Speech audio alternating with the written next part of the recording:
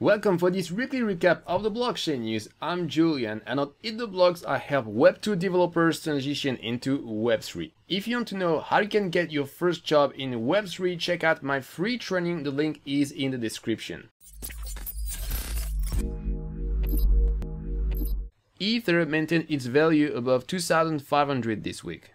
The new proof of stake testnet Kiln was just launched and you can run a validator node to help to test the proof of work switch off. The name of the proof of work switch off event has been named Paris. More than 10 million ETH has been deposited in the Ethereum staking contract.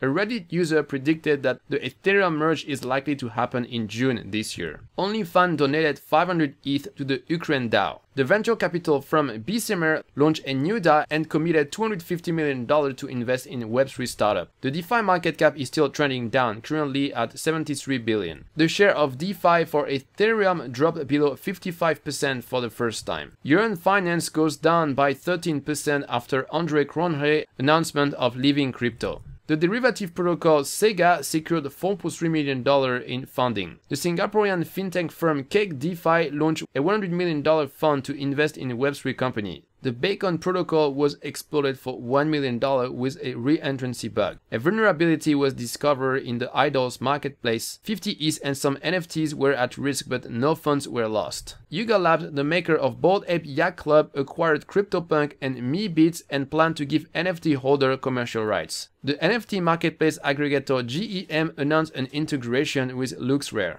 Quick announcement from our sponsor Nervos. Do you have what it takes to become the new Web3 champion? Our sponsor Nervos is organizing the first Web3 championship ever and they will also give away some NFTs for free. This hackathon, the first one in 2022 for Nervos, will be like a real sport competition. There will be four different challenges, a 100 meter dash, a relay, a marathon and an art attack. You can join as a coding team or a solo developer. For the 100 meter challenge, it's obviously all about speed. You will have to port a dApp to Nervos as fast as you can. For the relay challenge, you have to work in a team and have complementary skills if you want to win.